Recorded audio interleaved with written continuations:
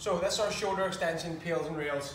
I know I've got a wee bit of a makeshift one going on here. Ideally, um, a physio table is perfect for this, but really it's just about making a device that allows you to place the arm in extension. Now, I want to set it to the side, just so that I can go past the box without touching it.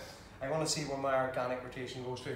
In terms of pails and rails, you want to go our organic rotation and no more than say 15 degrees on past that. So I'm going to lean down a little bit just to get that up and that'll be my 15 degrees.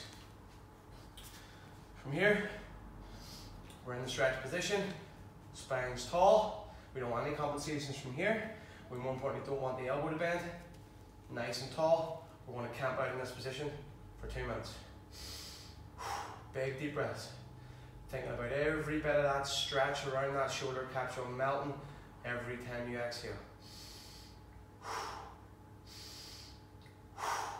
Our two minutes has passed, now it's on to our pails part. And remember, pails is always the opposite of what you're trying to achieve. So if we're trying to achieve shoulder extension here, pails will be flexing when we're trying to push the hand down through the bench.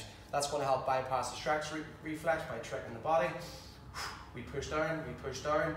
10 seconds of building up the maximum tension, hold the maximum tension for another 10 seconds. Keeping the hand in a nice straight line with the shoulder, we've done our two minutes passive stretch.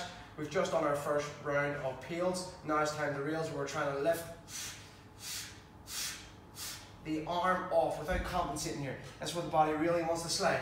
Trying to lift off. If you can lift off here, you haven't started in a deep enough part of the stretch. The goal is to try and lift off, not actually to get off. If you do get off, start a little bit higher on the box or a little bit deeper in the squats in the position you're sitting. After the first round of pails and rails, we're to take five deep breaths and repeat pails and rails one more time.